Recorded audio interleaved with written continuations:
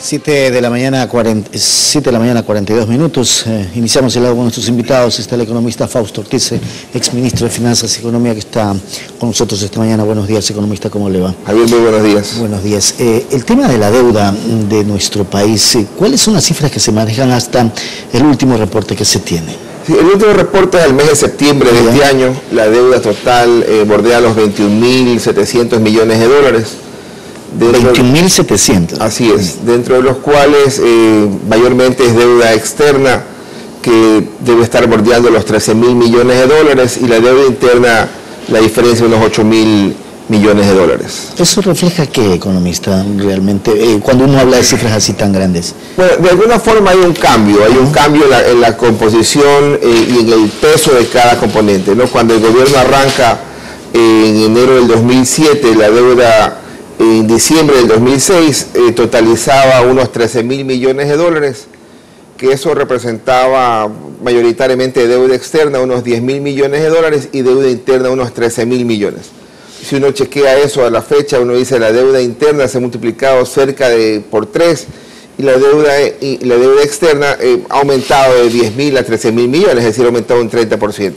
Y entonces ese es un, un primer cambio. ¿no? Luego de la deuda con, la cual el gobierno arranca, este, tiene una caída muy fuerte producto de la renegociación de los bonos eh, o la recompra de los bonos globales, que fue una disminución de cerca de 3 mil millones de dólares. Buena, pues, que, que, que, en su momento disminuyó la deuda externa, digamos. ¿no? en la actualidad, en cuanto al peso de la deuda frente al tamaño del país y frente al, Producto Interno Bruto, que es como uno debería comparar para, hacer, para saber si es que la economía está más endeudada o menos endeudada, uno observa que eh, hoy día el peso de la deuda sería como un 23%, cuando el gobierno arranca, el mes previo a que el gobierno inicie, era como un 28%, es decir, estamos con menos peso de la deuda frente a lo que el gobierno arrancó.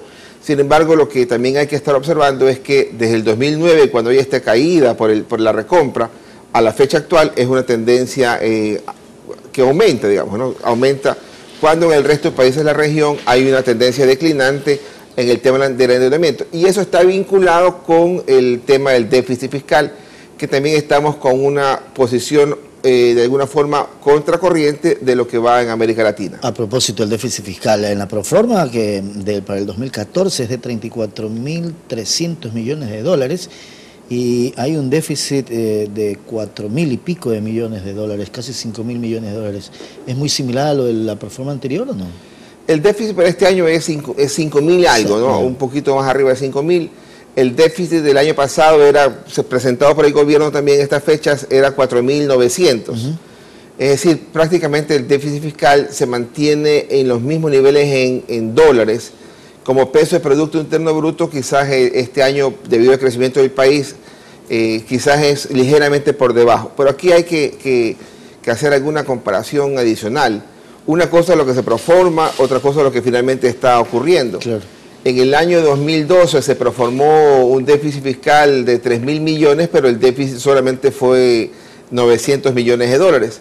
Para el 2013 eh, la proforma indica un déficit eh, de casi 5 mil millones, pero seguramente va a estar bordeando los 3 mil o 3 mil 500 millones según cómo, cómo terminen estos dos últimos meses del año toda vez que al mes de octubre las cifras del Ministerio de Finanzas lo ubican el déficit fiscal en 2.300 millones de dólares, mil millones, eh, perdón, y el año pasado, en octubre del 2012, estamos hablando de un superávit de 1.300 millones de dólares, es decir, estábamos de octubre del 2012 a octubre del 2013, más de 3.000 millones de dólares de incremento en el tema de déficit fiscal y entonces este, a diciembre del 2013 podría ubicarse este déficit en los 3 mil millones, eh, que es un 3% del Producto Interno Bruto, que si bien es cierto es menor al, al nivel presupuestado, es una cifra importante porque necesita financiamiento. Y ese financiamiento es, es el, para el 2013 está conseguido, para el 2014 es toda una aventura. Una aventura y, que sigue siendo también una gran interrogante de cómo conseguir o de dónde conseguir más dinero para cubrir ese déficit, porque siempre ha sido un problema eso, ¿no? Claro, en el 2013 eh, lo han cubierto eh, fundamentalmente con eh, la vinculación con China. La deuda con China a diciembre del 2012 era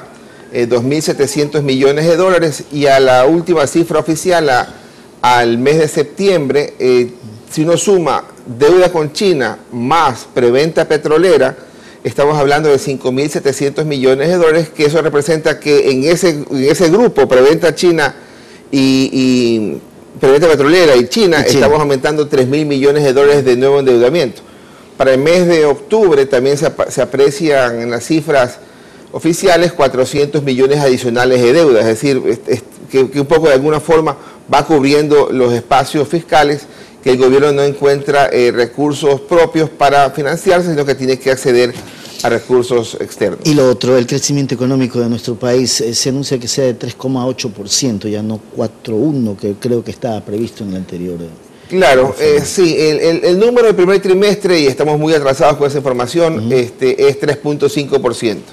Habría que chequear la información que seguramente saldrá en los siguientes, la siguiente quincena, la información del segundo trimestre, y ahí seguramente el segundo trimestre va a tener un, desempeño ligeramente superior y, debería estar terminando el año 3.6, eh, 3.8 en ese rango y a espera, a espera de, para el 2014 de cuánta plata adicional logre conseguir el gobierno para invertir más allá del presupuesto. Porque, para ver cuál sería. Claro, porque el presupuesto del Estado de 2014 tiene un nivel de crecimiento de inversión pública menos del 10%. Economista, agradecerle por haber estado con nosotros esta mañana. Que tenga buen día. Gracias al economista Fausto Ortiz. Hacemos aquí la pausa, regresamos enseguida, no se vayan.